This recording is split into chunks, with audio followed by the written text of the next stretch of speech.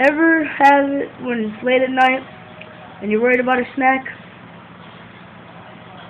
Try Nine Lives. It's good for you and it's awesome.